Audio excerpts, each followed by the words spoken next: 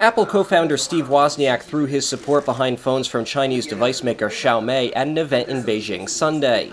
The company invited Wozniak to visit and meet with its engineers. Woz had only just started using a Xiaomi smartphone, but was impressed. A geek wants a processor with a certain speed and certain number of megabytes of memory. A normal person just wants to get their job done. They want to get their texting. They want to get their social networking. They want life easy. But it, but it takes the geeks. It takes the geeks that totally understand the inside of the product to create it for even the normal people. We have a wonderful world today. Yeah, great, great. Yeah, great phone. I'm playing with mine. I like it so far. I'll tell you if I have problems. Woz is a regular on the tech media circuit and was apparently paid for his visit to the company.